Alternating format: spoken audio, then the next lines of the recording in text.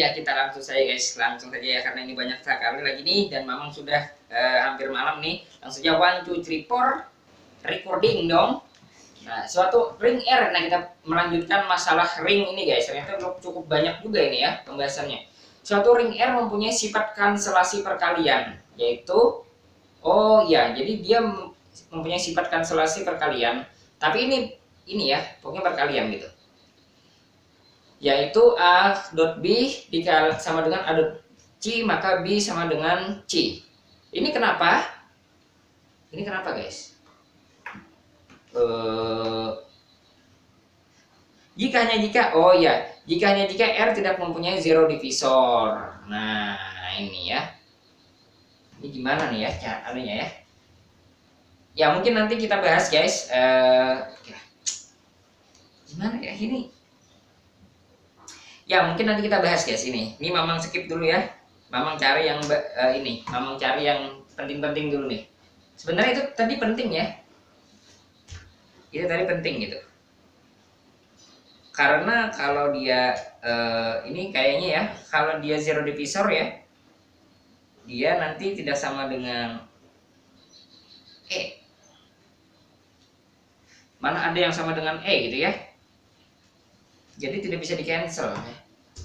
oke. Ini memang skip dulu nih ya. Selanjutnya integral domain. Sekarang kita berkenalan dengan integral domain adalah ring R segitiga dot yang komutatif mempunyai elemen unit dan tidak mempunyai zero divisor. Jadi ada dia sudah ring kemudian komutatif kemudian mempunyai elemen unit dan mempunyai dan tidak mempunyai zero divisor. Itu integral domain jadi ring komutatif mempunyai elemen unit dan tidak mempunyai zero divisor. Itu namanya integral domain, guys. Nah, itu. Kemudian di sini ada lagi ring di ini misalnya ring ya.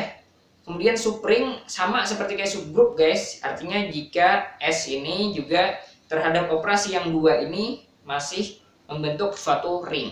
Nah, Mama pikir kalau kalian sudah uh, paham apa itu subgroup, ini kayaknya tidak terlalu susah untuk kalian uh, pahami ya. Oke, sekarang kita punya 9.10, teorema titik 10 diberikan R segitiga dot ring dan S subset R. S ada subring jika hanya jika untuk setiap A, B anggota S ya dia tertutup dan impersnya ada dalam S. Dia pasti subring ya ini kayaknya membuktikannya juga pakai mirip kayak ini ya mirip kayak subgroup guys. Jadi dia tertutup terhadap impers dan uh, tertutup terhadap ini. Sisanya kita tinggal membuktikan bahwa dia uh, dia subgroup pasti sudah dia subgroup ya. Terhadap R ini karena ini dia subgroup.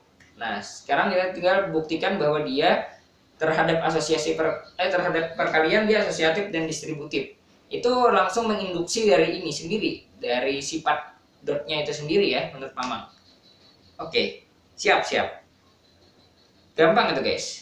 Selanjutnya definisi 9.11 diberikan R segitiga dot ring dan I subset R tak kosong himpunan ini disebut ideal jika berlaku uh, untuk setiap A B anggota I A dikurang B atau yang Mamang definisikan sebagai A operasi negatif B itu anggota I dan A anggota I.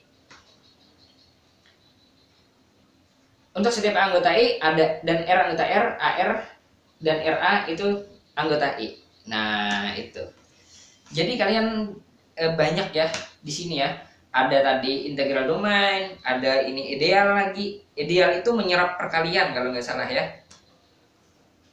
AR, RA anggota I gitu ya. Nah, itu ideal itu ya kemudian eh, seingat mamang ya ideal itu menyerap perkalian gitu. Pokoknya dia eh, ya yang jelas kan dia eh, perkaliannya itu kembali lagi ke ini tertutup terhadap perkalian dia. Nah kalau yang ini tadi ini apa ya kalau yang integral domain tadi itu tidak ada syarat tertutup terhadap perkalian. Ya dia tidak ada syarat tertutup, tertutup terhadap perkalian tetapi dia ada syarat komutatif dan tidak mempunyai direct divisor dan mempunyai elemen satu gitu.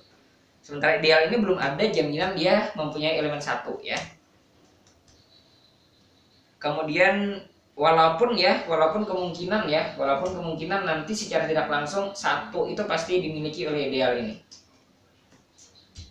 karena sifatnya ini guys tertutupnya ini coba nanti dicek ya oh belum tentu juga sih karena impersnya nggak tahu kita ya. Impersnya perkalian belum tentu ada gitu. Jadi belum tentu. Dia hanya tertutup saja. Oke jika pada syarat kemudian di sini ada catatan guys. Jika pada syarat yang ini hanya berlaku ini tapi tidak berlaku ini maka disebut hanya disebut sebagai ideal kanan. Sebaliknya kalau berlakunya di sebelah kiri R-nya itu uh, ideal kiri. Ingat ya, R ini di R, I ini di I, A ini di I. Dan I itu subset dari R, subset dari ring itu sendiri. Jadi ideal itu harus subset dari ring. Oke. Nah, diberikan Z M, N, Biana MN anggota Z, selidiki apakah I1, MM, dengan M anggota Z dan I2 2M 3N ini anggota Z delta Z. Mamang ingin mencoba yang ya kita ingin membuktikan bahwa ini uh, ideal ya. Coba Mamang ini yang nomor 2 ya, yang nomor 2 aja nih. Coba ya. Kita ingin buktikan yang pertama adalah untuk setiap AB anggota I. Jadi untuk setiap 2M, 2N, kemudian du eh salah ya 3N, 2P, 3Q misalnya ya. Ini anggota dari I2. Maka eh, 2M, 3N ditambah ya 2P, 3Q ini sama dengan 2M ditambah 2P 3N ditambah 3Q. Ini sama dengan 2 kali M ditambah P 3N ditambah Q. Ini jadinya anggota dari I2 lagi. Eh, kurang ya, kurang, kurang guys. Jadi memang lupa, ini harus dikurang, bukan ditambah ya. Dikurang ya, dikurang ya. Dikurang. Nah, ini dikurang, guys.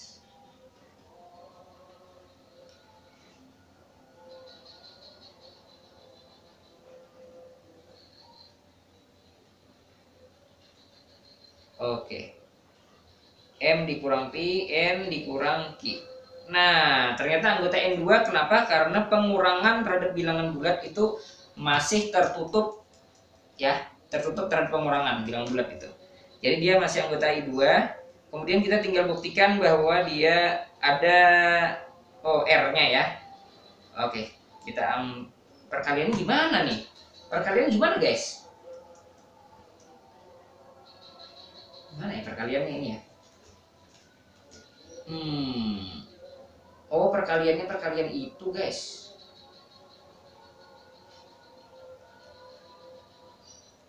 Kayaknya perkaliannya adalah perkalian yang Eh, berdasarkan itu.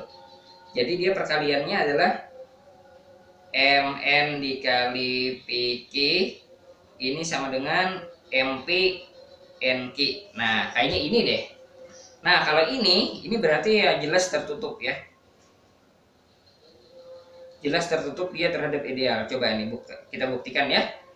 Untuk setiap untuk setiap MN anggota Z dan 3P eh 2P 3Q ya? 2P 3Q ya? 2P dan 2P 3Q anggota dari I2 berlaku MN dikali 2P 3Q berdasarkan definisi itu adalah 2PM 3QN jadi ini sama dengan anggota I2 lagi. Nah, jadi dia tertutup terhadap perkalian, guys. Oke, mungkin itu saja guys dari Mamang. Thank you for watching.